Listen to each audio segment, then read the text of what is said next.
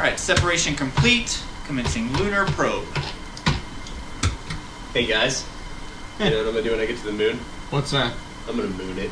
Eh? Bill, come on, guys. You have to focus. You know what I'm gonna do when I get to the moon, guys? Uh, Kevin! Oh, that was bad. It's just gross. feels like baby food. Come on. Hey, you know what I'm gonna do when I get to the moon? What's that? I'm gonna do it. Do the moon. That doesn't even make sense. Do the. I like it. You know what I'm gonna do when I get to the moon, guys? Huh. Let me just put it this way. I got a little bottle of lube, and Tom's mom's in the back. Hey! That's just inappropriate. You know what else I'm gonna do when I get to the moon? What's that? Um, you know Tom's mom. What did I just I got say? this lube in the back. So, uh, hey Tom, Yes, Kevin. what are you gonna do when you get to the moon?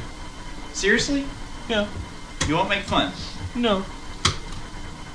Well, I used to think I'd like to gaze back at all of God's creation and marvel. Ah, that is it! I've had it with the flavor. Look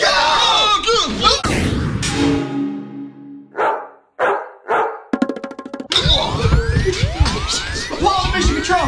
Mission Control! Execute emergency plan Beta Kappa Alpha!